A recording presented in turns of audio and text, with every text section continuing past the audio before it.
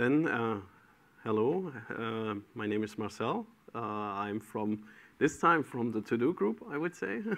I tell you in a minute. Um, and uh, I welcome you to this talk uh, and thank you for your patience and being really, I think it's one of the latest or even the, the, the final one uh, that we have now. Uh, but we are also glad that we got this, uh, this slot because um, in the to-do group, um, we prepared a guide explicitly and here is really the place to go, OSPOCon, for other OSPOs. So we are from OSPOs to OSPOs. That's a little community that we started here uh, within the To-Do Group Europe. And uh, uh, we thought, okay, what, what can we do uh, to help out other OSPOs? And we had a list of topics, and one of those topics was then the outbound open source. Um, so first of all, uh, you might be uh, a little bit puzzled because here you have Siemens on the slides. Uh, here you have someone else from another company here I'm really presenting to do exactly uh, uh, today the to-do group. And here the, the guide itself, here also all the, the, the, uh, the merits to Anna and, and Michael, Cornelius, and uh, Joseph, and, and Oliver. Oliver, who, who wanted initially to present here, but unfortunately didn't have the, uh, the possibility to come here. So I'm kind of jumped in, and so I'm happy that we can also present what uh, and, and give you the news what happened and also share the link. So it's all online. Uh, so and in the presentation we will just go through uh, the, the chapters a little bit so that you get an overview and also that you can judge how you can use it. Uh, so as you see, I'm merely one of those uh, reviewers, uh, but I'm then also glad to, that I can contribute something to the community by presenting this here as uh, Cornelius would also have liked to join, but he had to catch his flight, so he's uh, so this slot was just too late. Um, it's CC by SA 40, uh, so everyone is also then uh, can use the stuff and also feedback. So it's really meant also to be potentially it's a run zero. If you find any bugs, if you have any uh, additions, then then you're welcome. And the agenda is very simple because uh, in the guide we have an introduction. Uh, we have one part where we talk about contributions to existing projects. So this is typically as what you start with. Yeah, so you come from usage, you potentially know these cascades. Yeah, you use it. Then uh, you have a lot of developers coming to the, your office and say, hey, we also need to contribute. We need to contribute. Then uh, we try to compile some hints in this section, and then starting an open source project. So either, um, yeah, for whatever reason, so we go through this also in the introduction, what could moti be motivations, also perhaps that could help you also to judge that better within your organization.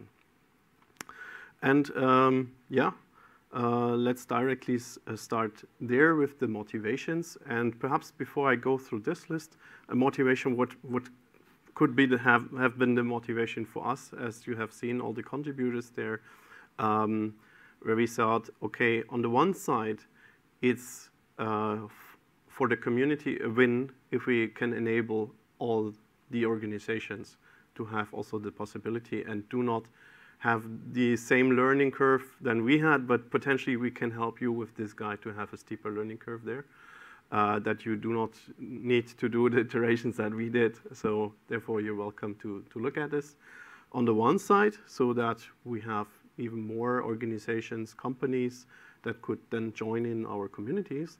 On the other side, this is the second effect, also for the second part of it, uh, creating and maintaining new projects, uh, because then all of us as consumers might be concerned, like, because if we can start them from the beginning with a high quality, then we also profit all of, of it because then in the consumption, the OSM reviews will be much easier if that's already nicely uh, yeah, formatted, if we have the licenses in place and so on, and we can really trust in, in the material.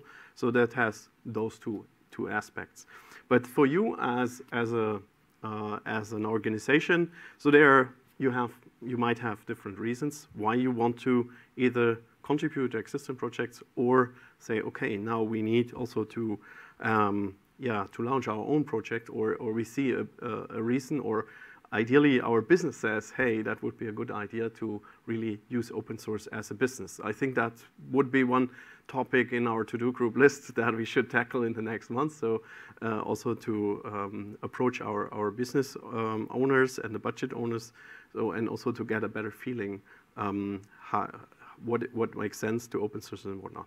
But here there are also the, the range of reasons that you can read here, just like, okay, yeah, uh, the developers, they do not want to uh, maintain internal patch branches, but they want to contribute upstream. So that would be a very, well, uh, obvious uh, um, reason or motivation to do this.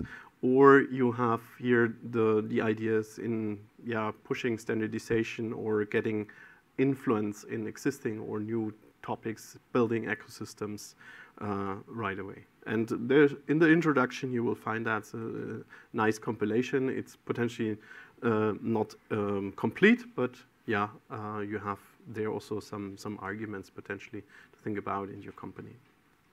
For me, my, uh, my favorite is the fourth bullet point on the left side, improve quality and boost developer skills by peer review.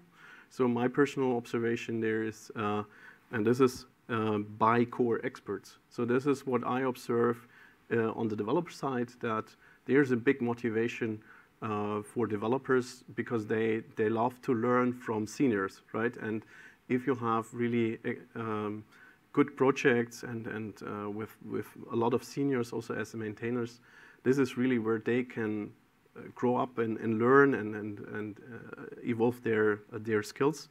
And I think this is something as an argument within a company, say, okay, also for your HR, so hmm, why are we not an attractive employer, right? So why uh, do we have that situation? I think that's something that's uh, slowly coming uh, as, a, as a big argument and also in the, in the whole community.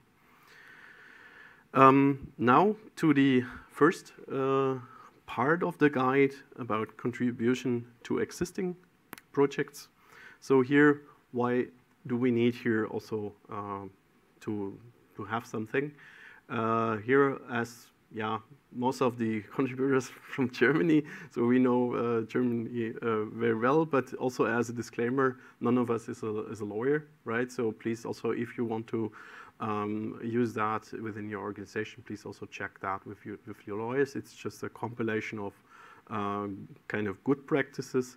But here, this is the point that in case we contribute that something, it's uh, also considered as a gift, right? And uh, we do not give away what doesn't belong to us, right? And as an employee, uh, the employer IP doesn't belong to us, right? It's all by these, uh, by these laws, for example, that everything you do in your work uh, scope, the scope of work belongs to your employer in Germany. And therefore, you need to, well, then get also an approval. And this is what you need to understand because also perhaps a new developer to this topic might see that or observe that. Um, yeah, why do other organizations do this, uh, this and that way? Uh, so that is also important, and therefore I love this this guide because you can also point uh, developers or people that want to know the background of that just point them to this and see, and then they can read also in this chapter, look, this is what we need. And this is nothing that you tell them or uh, someone tells them, but this is really now um, a collection that we did from other companies, from other organizations, that it's not a, a homemade uh, thing, but this is just the, um, the environment in, uh, where we need to work in and we need to adhere to the, to the law and we, we need to be compliant and, and, and that's what I observe is also um, something where the awareness at the developer side is, is uh, quickly rising and then they accept it. And then the question is, okay, now how can we do that more efficient? So here we also mainly stay at the what and why level, but for the how level, I think there we still have potential also to, in the community, um, to work on, on things. And here's an example, for example, how uh, something internally could look like. So here you see this is um, very interesting because if you talk about contribution, a developer put, pot would potentially think about, okay, I contribute to a project, so I make a pull request, the pull request is reviewed, and it's emerged to the repository, right? Um, from a company, a company perspective, that looks like this. And if you go from the left side to the right side, you have a lot of steps that you need to go through. You need to check a lot of things. And you didn't do not any step here that really is the pull request to the upstream project, right? Uh, and this is also something uh, you need to take into account that, well, you have to have this transparent uh, to be safe, not only to protect your organization, and that's what the, uh, the, developers also need to know, it's also for protecting them, yeah, to have that, that um, uh, very transparent. And um, here, this is what you can say, okay, here, look, this is from another company or another organization, is nothing that we invented to, uh, to make you annoying, uh, but this is something that needs to be done. Here we have a lot of um, roles that need to be uh, involved. We need to check uh, potentially contracts, things like that, always depending um, on, the, on the situation. But there are a lot of steps up front that you need to be uh, that need to be prepared. And here, we're not talking about creating a new project, right? This is if you want to contribute to an existing project. And as this might really be a hassle or, or not very efficient uh, to do that for every contribution, uh, there's also in the, in the guide uh, also a section that talks about different models that you could use, right? So here on the left side, you see, well, that would all developers, right? For all developers, you would need to go through all those steps. But on the right side, we, we see then the senior developers, developers that have already, where we have potentially already trust in them and they have a lot of experience. So where you can also, uh, in your organization, set, set up a model where you can say, okay, now here we can make that a little bit leaner uh, and have a major-to-major -major release or even a full trust model. But that's also potentially depending on your management how well they want uh, want to do this is just to, to have that complete. It's not the one and only, uh, but you have also uh, flavors how you can um, implement that within your company uh, or or your organization, and this is also part of the guide uh, in one section.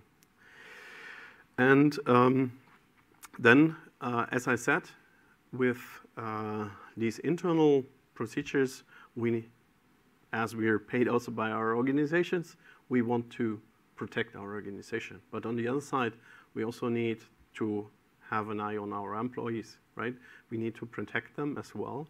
And this is uh, a section that is potentially interesting because we have employees that already work, potentially when, when you hire them, they already active in open source projects or uh, they might find out, okay, they would be interested in other um, in in other projects uh, in their in their while they're working. So yeah, it's uh, um, not in scope of their work. Uh, so the, here in Germany, the Copyright Act is a little bit strange, so you have to need, uh, read it on your own. But what I want to say is, okay, you need to have transparency when is the developer working for the company and therefore producing company or organization IP, and when does it does he or she produce own IP, right? Because then you need, in case of that's organization IP, we have seen an example. You have to go through all those steps. If it's the developer's own IP, then he can do well whatever he wants with his IP. The problem is if this is very uh, or the challenge, let's say like this. If this is very obvious, I always take this as an example. For example, you have a software developer who's also a photographer, and he's in a photographer community, and his work has really no overlap at all with this sharing about uh, ideas and specialist things about photography. Yeah, then it's very clear. Uh, so nevertheless, might be potentially uh, make sense to nevertheless make that transparent. But if the closer those uh, those topics get, uh, the the more you need to check that you have this transparency, that you have the documentation, also in the interest of the of the uh, um, developer, right? That that he knows, okay, I, I, that's really my IP that I contribute to that to that project. And here, um, as you can see, that um, you can make it very formal or not. Uh, but here I would um, say, from what you read, my, my main point here is really this transparency um, that you should have in this case um, in your organization. And the, the more you can mature this process, it's even possible to say, okay, you have potentially uh, a project that is um, that the developer contributes in his private time, and then you might have a phase where he wants to contribute in his work time and then switching back to private time. So we had situations like that. And then exactly there, it's, it's uh, very important to say, okay, ah, I have the transparency until this date. It was company IP until from this date to that date, this was his own IP, and so on. So this, this is possible, but you need to, well, keep that in mind and also have a, a good process and, and the documentation to have that transparent. Um, and so you see, uh, that's part of our learning curve, right? when we started this, we potentially didn't uh, think at all of this. So therefore, the guide could also help you to keep that in mind um, to if you set up something for your organization. So now contribution is also something that you will need in the last in the second part about starting an open source project because once you start it then you will potentially also have your developers uh, contributing to this. But starting an open source project has then also uh, additional yeah things you need to care of. And um, then we thought about how to structure this. And I think uh, the guide is, is uh, used now with a very nice structure because we use the life cycle of such a project as uh, in, in, in, a chapter. So uh, here in the planning phase, it will start, then you will have an active phase, a mature phase, and then the end of life obsolete phase. And uh, so because typically, well, you have enthusiastic developers that just want to, yeah, open source something on GitHub or GitLab or whatever. Uh, and I think in this case, then you can also just point them to the lifecycle. So you should also think, please, to whole lifecycle. So what happens, for example, after the active phase when you're not there anymore and we have questions and you're, I don't know, promoted to a managed position, whatever. So who cares then about that? Uh, and also then in the end of life. So if really, well, it's, it gets outdated, what happens then? So these are all things that you need uh, to clear. And in e each phase, you have then also specific points that you need to care of.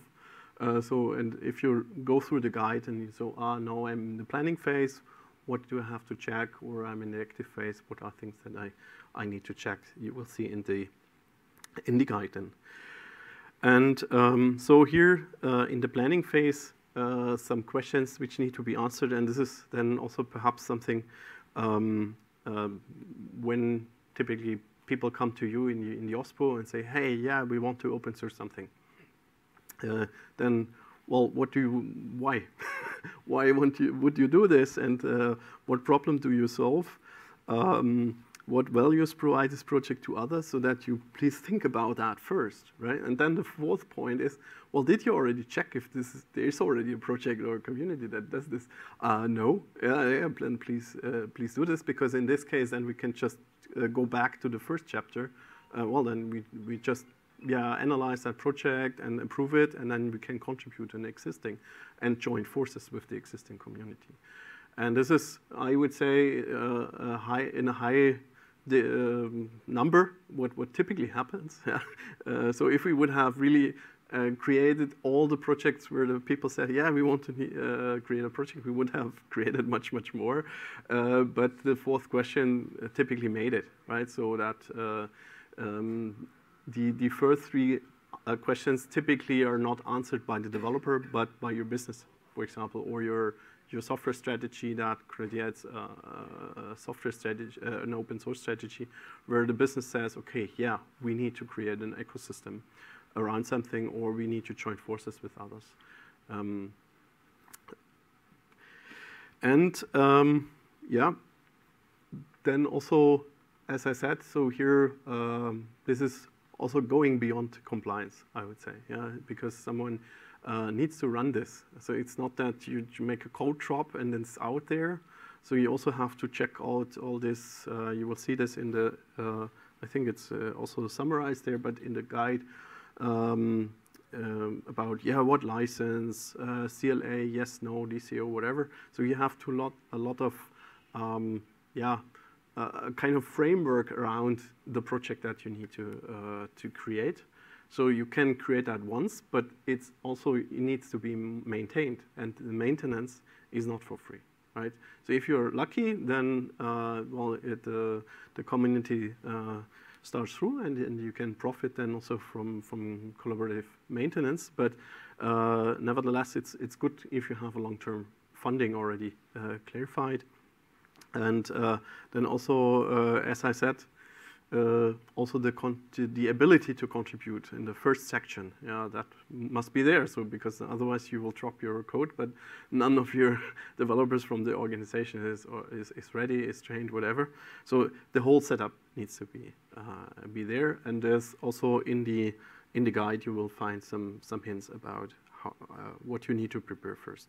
Uh, already in the in the concept phase, and um, then after launch, um, this is something where uh, you may or may not come very, very quickly to the last and uh, the last uh, phase of the life cycle uh, if you not have in mind that well such a community doesn't uh, create it itself. Uh, you really also need to invest not only in the code, but you also need to invest in the people and marketing, community management.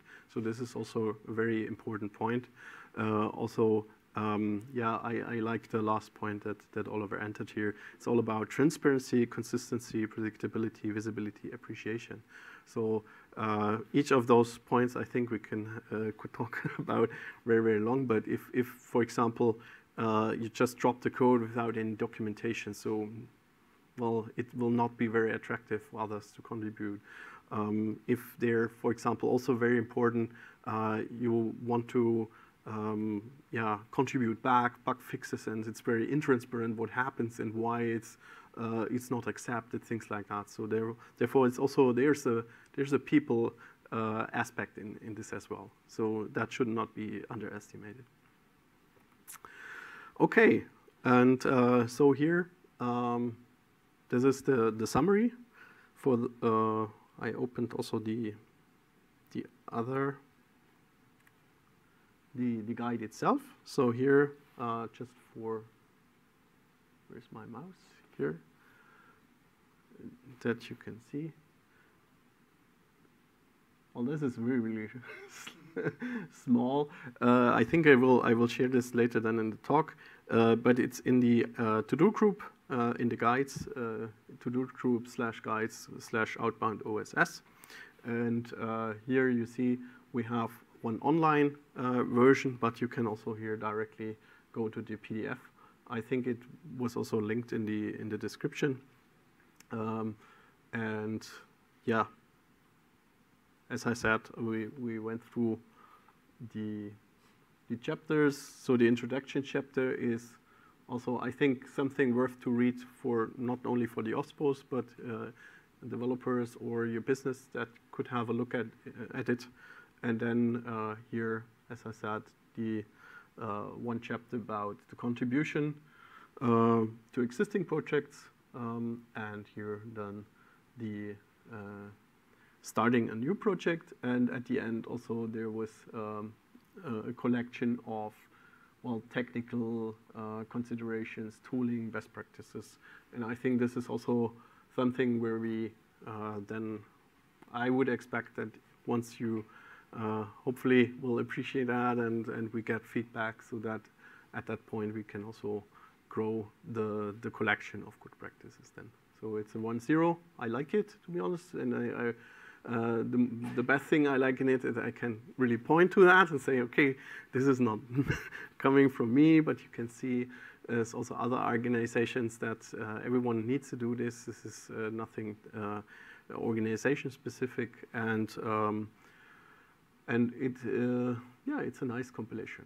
And now I would go to the questions if you have any. Yes? Well, the first question I was going to ask was the same question I asked in the previous talk. Um, just like you've got uh, CLA Assistant for making sure people come to your project as signed a CLA, is there a tool for handling CLAs you've signed for other projects? But that points to the to-do group um, Autumn OSPO repo, where there's mention of that spot. So, first question answered by the document already. Good job.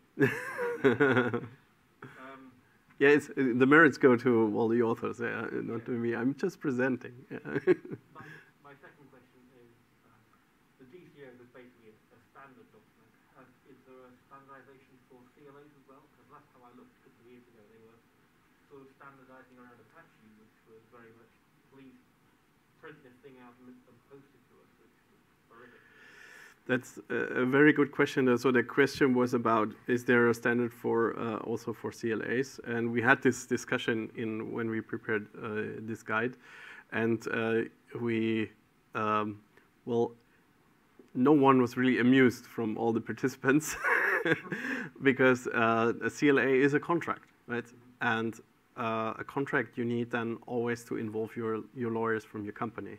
And, and therefore we said, okay, would have been a dream to just have, well, a standard contract that's already pre-approved by, by our lawyers. Um, and, uh, and therefore we said, no, but then uh, that somehow, for whatever reason, you would need this, right? Uh, and because we have this DCO. And we thought, okay, perhaps we, we should start also initiative to say, um, I think it, nearly everyone in round said, okay, well, we would potentially not invest in this uh, route to go via the legals and doing all this, this, this. If the business will tell us, okay, there are millions if we may contribute to that project with the CLA, then yes. But if it's like we want to do a bug fix there, uh, you see the, the cost benefit ratio is, is not there, right? So, and if you as a, as a company or organization want to really uh, keep away organizations contributing to your projects, then you make a CLA. Because this is really a, an unnecessary additional hurdle for us as OSPOs uh, to go through this, because this is very, very expensive, a lot of effort to do this, and therefore we said, okay, we will keep that very short at that point, and rather telling, okay, that's the situation, full stop, right? And um, the other thing is, uh, when do you potentially have a CLA is, okay, you, you really uh, host something as an organization on your own.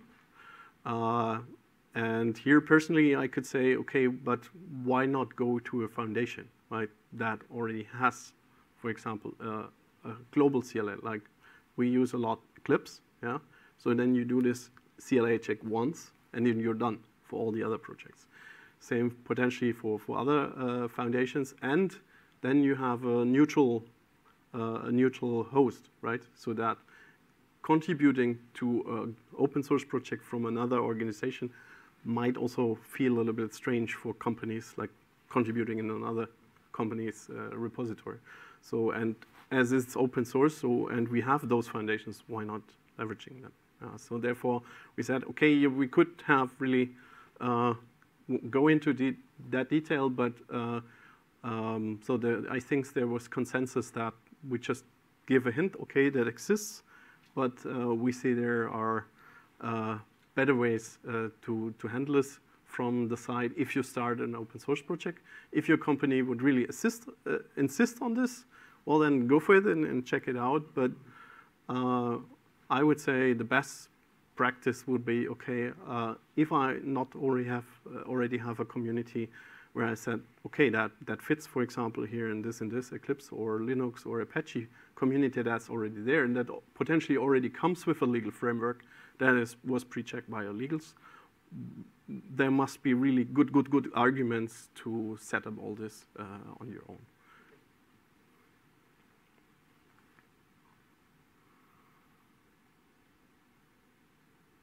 So no CLAs, please.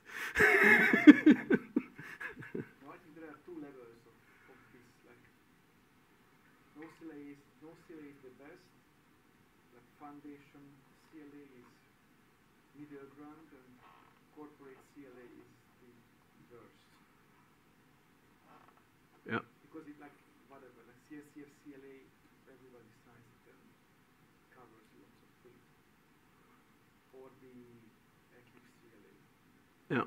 So the, the, the I try to repeat it. So the uh, seems that uh, CLA, ICLA, CCLA, it's also covered, I think, in the in the in the guide, and then uh, the corporate CLA uh, is is uh, well foundation CLA is still well point of acceptable, but uh, the corporate CLA is potentially a nightmare, and uh, uh, so that was was uh, the, the the feedback in here.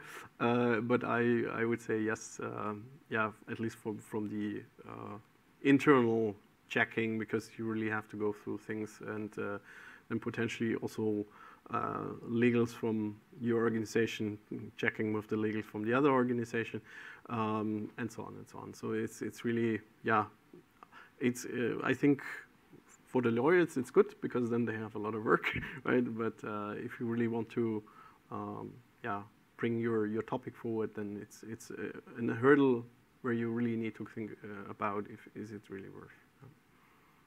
Or, or there might be reasons why uh, that you need to protect something like that. But typically, you will find CLAs in a very specific context um, where you need to think if if you also want to um, be in such an ecosystem.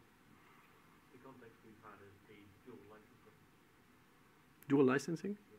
hmm So we want, we want to be able to make sure that we could still release our own IP under our own license as well as under the open source license. Yeah, this is um, uh, the to repeat that. So uh, one of those motivators for an organization might be to offer dual licensing. Where they say, okay, I want to uh, have a, um, a community edition, I guess, yeah, that the community can work on. But in the same time, I also want to use that in the enterprise edition in my products as, as an organization. So therefore, I need to handle that somehow that I get then also the right from each contributor by this CLA signed by his company that the IP from that company may be used in my products and so on. So this is really yeah something you, you can make your own studies about. Company CLAs are especially confusing because most of them are using the Apache CLA as a template, which has which defines the work as a product, and that is very confusing in lots of discussion.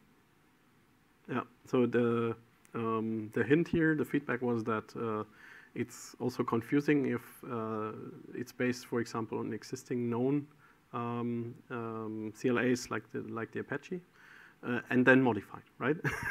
uh, plus, uh, I guess uh, jurisdiction. Uh, the, the original text is confusing because it defines a product or talks about the product, mm, which is like in case of Apache Foundation, you know that it is an open source project, but in case of a corporation, if you talk about the product, then people think about Yeah. the product. I, I'm trying to summarize. So the, the problem that in yeah, and that's a good hint. Uh, in case of a CLA uh, made for an open source project where it's very clear what is the product, right? Because it talks about this open source project. If you use the same CLA and put it in another context where you need to define first what in this proprietary context means the product, right? And that might create confusion. So as I said, there might be easier setups uh, to tackle with, and and uh, th- that's what I meant. So for us, it's it's very clear, and I think um, OSPOs. Well, that's also you come to the office in the morning and say, well, this is an interesting topic to, to work today or the next weeks. Yeah? but uh, then you will have uh, the developers who says, but I want to, I want to contribute my bug fix. It's a one-liner, right? So uh, and you have fun for weeks, but I want to have that uh, fixed for tomorrow, uh, and then you need to explain all this, right, to a developer. And so therefore, I really love this, as you can just make a pointer here and look here. Um, that's that's the way it be, and then potentially we could have a, a little info box about this CLA in a uh, in a proprietary context uh, to that they yeah. If you're done with reading, then you will know why uh, yeah potentially uh, we will not not be able to do this in, in the next next days, but it will rather take more days or even weeks or even months, yeah, depending on. Uh, and then also a lawyer is potentially not cheap, yeah. So it's it's also then the question who pays all this effort, right, for this one bug fix. Uh, then, yeah, rather rather go with the internal patch branch in this case. Yeah. Okay, then uh, have fun reading it and uh, uh also here as uh, I mentioned, your feedback is welcome. Contact us also. Uh, you can join us also in the TODO Group. Uh, so where we publish this, and yeah, hopefully this will be. yeah, there are already some guides, so there we also have references to the other guys, be guys because we didn't want to have overlap or redundancy. So, uh, and I think that's a good start, and also to to have that collection. Uh, so on the one side, you will have, if you build up really a new OSPO, for example, then you can start with the specification for OpenChain on the what and why, and then uh, you, we have guides in the TODO Group about how, and that could be then also some something in between because we said, okay, outbound open source in OpenChain is mm, could have been done, but it yeah felt a little bit strange. So the, we said, okay, it's better to have that that guide here as an extra guide, um, even if it's rather on the what and why uh, than on the how level. Uh, but uh, I think it's it's a good start, and hopefully it will be helpful to to many OSPOs and, and new OSPOs to have a steeper learning curve than we had, had at that time. So thank you very much, and thank you for joining uh, my uh, final talk here. and uh, yeah, have a safe trip home, and see you.